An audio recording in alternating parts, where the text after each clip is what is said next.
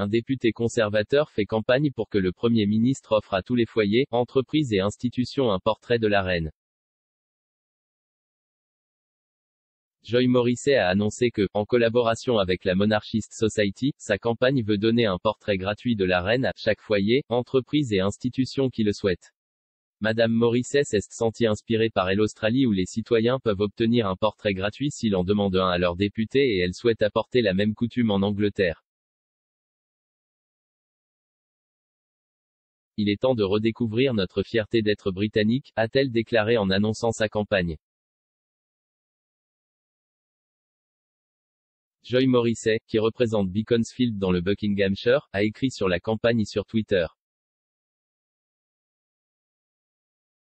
Elle a déclaré, Je pense que c'est une campagne merveilleuse, patriotique et unificatrice pour notre pays.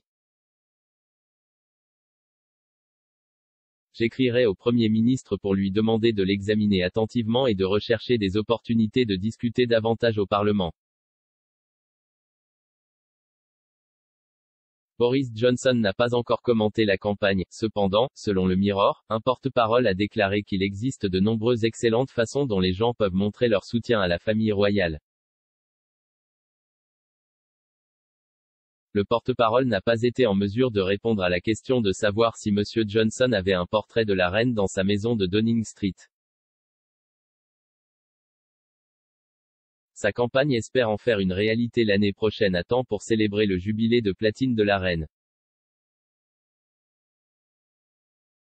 De nombreuses personnes ont partagé leurs opinions sur les réseaux sociaux, affirmant que la campagne est une dépense dont le pays peut se passer pendant une pandémie mondiale.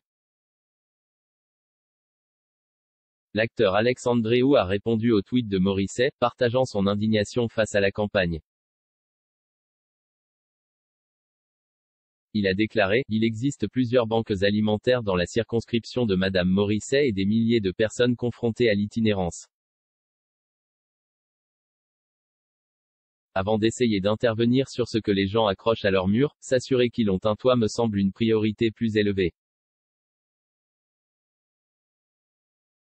La campagne de Madame Morisset intervient après que les étudiants de l'université des Oxford ont voté pour retirer leur portrait de la reine parce qu'ils pensaient qu'il s'agissait d'un symbole du colonialisme.